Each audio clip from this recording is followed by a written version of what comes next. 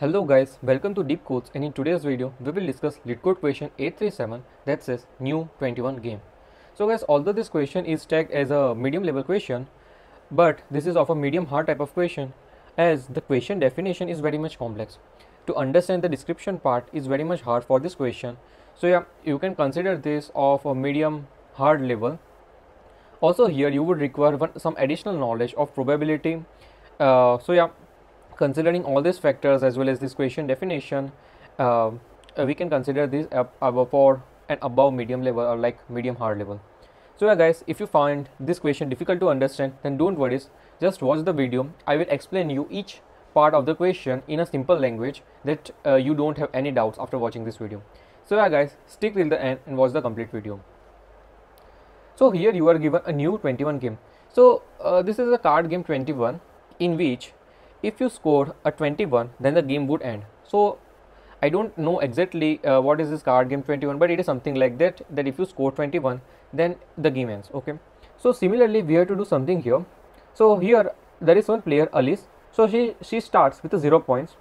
She can draw any number of cards. Means she can she can pick any number cards until she has less than k points okay? Further she will uh, pick a card randomly from a range 1 to maximum points. So you will be given some maximum point integer.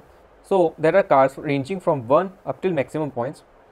Further, each card or each draw is independent and the outcome has equal probabilities. That is, see, she has the range of cards from 1 to maximum points and drawing any card from this range has an equal uh, probability. Okay. Further, Alice stops uh, uh, after she gets k or more points. So she will stop after she acquire k or more points. Further, this is what we need to return. We need to return the probability that Alice has n or fewer points. Okay, we need to return this probability. And the answer within 10 to the power minus 5 are the actual answer must be considered. So you have to return the answer up till 5 decimal digits. So guys, just skip these examples for a while and let's try to understand the question first. So here you would be given a range from 1 to maximum points okay? That means you will have card with a score 1 or a number 1 and up till card with a number maximum points. So for an example if a maximum point is 10 then you will have card 1 card with a value 2 card with a value 3 up till card with a value 10 okay? Now further you will be given one variable k. K is nothing but a score at which alice will stop. So uh, stop the game game when you reach a score greater than or equal to k. So this is this can be considered like a threshold value so if you reach this threshold value k, then Alice should stop playing the game. Now the question says that we need to find the probability of Alice scoring n or fewer points. Okay. So n is some uh, another integer that you will be given in the input. So we need to find the probability of Alice scoring n or fewer points. Okay, now let's think of this. So we need to find probability of n plus probability of n minus 1 plus probability of n minus 2 up till probability of k. See, now the question says we need to find probability of n and fewer points. So yeah, n minus 1 is a fewer point, n minus 2 is a fewer point and the least point at which the game will stop would be probability of k. See guys, game will only stop if the score is greater than equal to k, right? So the last or the minimum score at which the game would stop would be k, correct? So we need to find all the probabilities up till probability of k because this is the point at which game stops right? And if you check the constraints you will find that n would be greater than equal to k. n is always greater than equal to k. So yeah this uh, n will be always greater than equal to k and we will find all the probabilities up till probability of k. Got this? So i hope you guys have now somewhat understanding of what we have to do in the question we simply need to find probability of n n minus 1 n minus 2 up till probability of k because the game stops at k.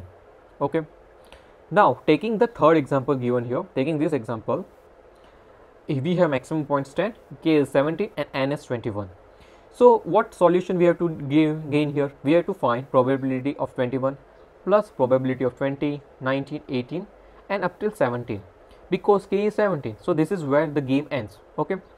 So see game ends at any point where the score is greater than equal to k. So game can end at 17 at 18 at 19 and the maximum score is 21 for which we need to find probability.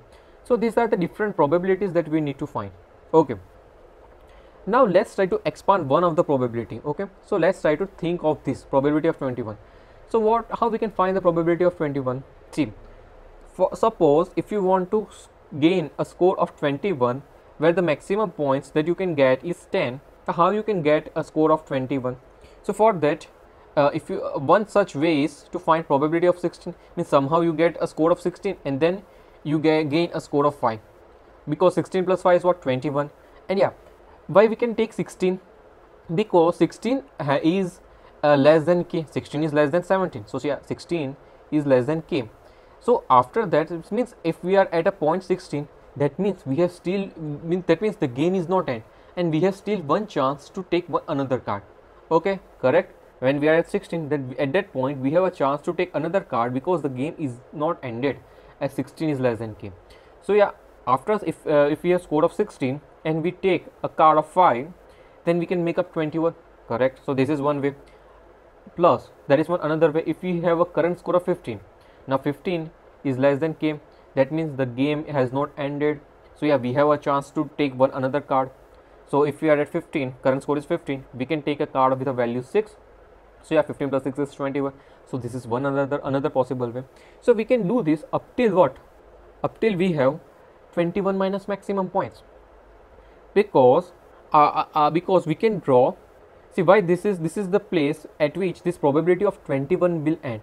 Because see guys what is the maximum uh, points card we can uh, draw? This is nothing but 10 so because the maximum points is a maximum value card that we can draw. So here that is 10 so we can draw 10 so this value must be 21 minus 10 so that is nothing but probability of 11 so if you have a current score of 11 then you can draw a card of value 10 and you can get the answer 21 so this is one valid probability correct? So yeah you can think this that if you want to find probability of 21 then these are different possible states. This is a state 1 state 2 and this is state n so if you want to find probability of 21 these are the different possible states and we would sum up sum up each values values of each state to get the probability of 21 so guys clear till here that we can start off with k minus 1 value up till uh, the 21 minus maximum points because the maximum points is the maximum value card that we can draw. Okay clear till here. Now here we it is said that each draw is independent and the outcome has the equal probability so that means drawing a card or picking a card from the set of 1 to maximum points has an equal probability. Okay this line states that. That means what? That means probability or to pick a card with a value 1 is 1 by 10 that is 1 by maximum point. Then similarly probability to pick a card of value 2 is the same as probability to pick a card with a value 1 and so on. So to pick any card from a range 1 to maximum points has the same probability and its probability is nothing but 1 upon maximum points so guys if you have some idea of probability then you would know that probability is nothing but favorable output upon a total number of outputs. So yeah for each card it is 1 by maximum points because this is the maximum number of cards that we have. So one thing if you notice here in, in this probability that we have calculated that the second thing that is probability of 5 6 up to probability of 10 this is constant value. This has same value that is 1 upon maximum points right? This is 1 upon maximum points. This is constant thing correct? So yeah if you want to find probability of any value i then you will start from k minus 1 k minus 2 up till i minus maximum points right?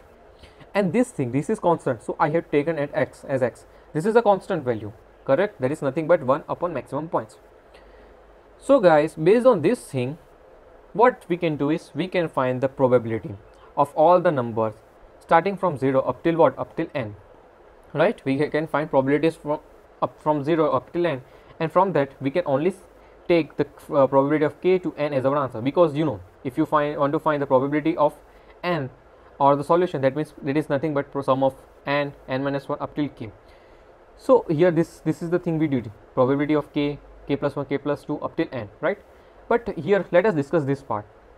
Now for an example if k equals to 0 that means the threshold is itself 0 value then simply return 1 that is 100% probability right? This is 100% probability.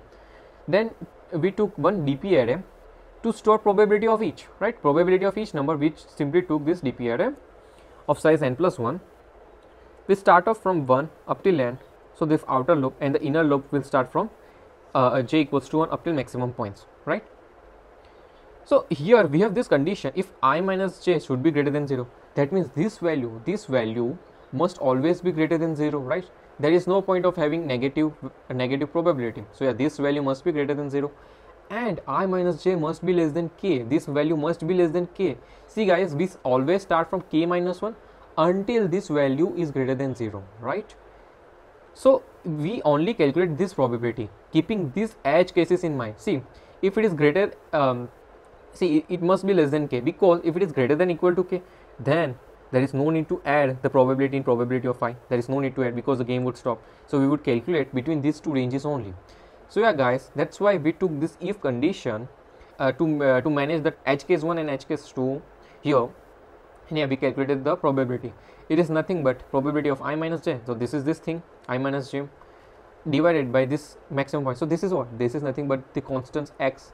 This is this thing x right so yeah this is how we calculate probability of all the numbers starting from 1 up till n. Uh, and for each number we have calculated uh, by summing up this thing right? We are summing up right? This is nothing but uh, this inner loop right? This is this inner loop will calculate this thing. This probability this inner loop will j will calculate this thing keeping these two edge cases in our mind. So yeah guys that's that's how we calculate all the probabilities starting from 1 up till n and then we only took uh, the probability of k k plus 1 k plus 2 up till n in our answer right? Because this is what we need to return in the answer. So we simply return this. But if you guys if you go this way then this will give you time limit exceeded item.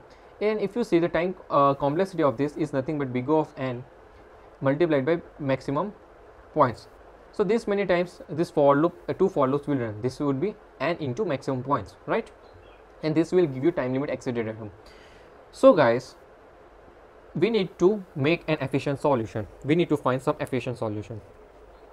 Now for an ex example if you if you have this the same example i have taken now if you want to find probability of 18 that would be nothing but see we can start we will only start from 16 right? We cannot start from 17 so it would be 16 in, multiplied by some constant 15 multiplied by some constant up till probability of 8 multiplied by some constant. See uh, until 8 only because the maximum point is 10 so yeah 10 plus 8 must be 18 so yeah we can go up till 8 now just a step back. If you want to find probability of 17 it would be 16 15 8 and 7 up till 7 we can go here.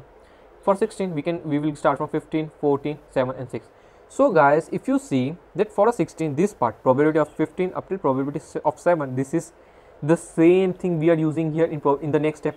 See if you go from 16 to 17 there is this thing. 15 up till 7 we are using as it is right? 15 up till 7 now if you go from 17 to 18 we are using the same thing from 16 to 8 we are using the same thing so we discard some of the values and add some of the values, right?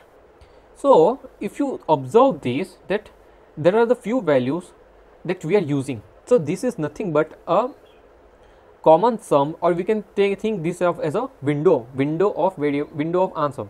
So if we can trick, uh, keep a track of this sum or this window, then we simply have to add some additional values and remove some of the values, right? Then we can get the answer easily, correct? So yeah guys, we will keep track of this window and we would add some answer and remove some answer from the current sum.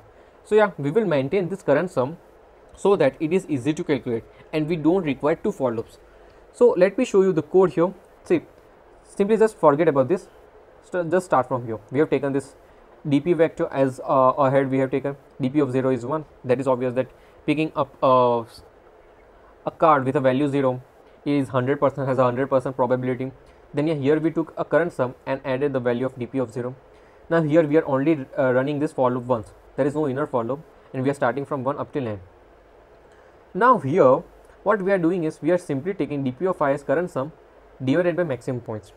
So yeah let's say uh, if we want to find dp of 2 and uh, for that we will uh, we will calculate if you want to find dp of 2 we will calculate current sum during dp of 1 so yeah that's why after calculating this dp let's say here we are calculating dp of 1 then after that we will make changes into current sum to use in during dp of 2 okay so yeah when we are calculating dp of 1 we will modify this current sum in order to use this current sum during dp of 2 thus uh, for dp of 2 we will calculate current sum during the previous iteration. So that is during dp of 1 or when we are calculating dp of 1 correct? Or the probability of 1 see dp of i is nothing but probability of i probability of i. So this is i hope you guys understand this thing. So now here if i is less than k then we would add the value in the current sum. Let me explain you this thing. So if this is i so let's say i equals to 16 now we have calculated this this whole thing for probability of 16 that is dp of 16 now we need to modify this current sum in order to use during dp of 17 or probability of 70 for the next iteration. So we will check is i less than k? So yeah here the i value 17 so 16 is less than 17 that means this value this value would be used in the next iteration as you can see. So in order to use this in the next iteration we would add this. If i is less than k simply add the value of the dp that you have currently calculated inside the current sum see afterwards once you have calculated probability of 17 you won't add here. It is not no use in probability of 18 so yeah only when i is less than k. Here 17 is not less than 17 not less than k. So at that point don't add. But only when i is less than k add this value that you have calculated inside the current sum as it will be used in the next iteration of probability. So yeah in only that case we will add this value.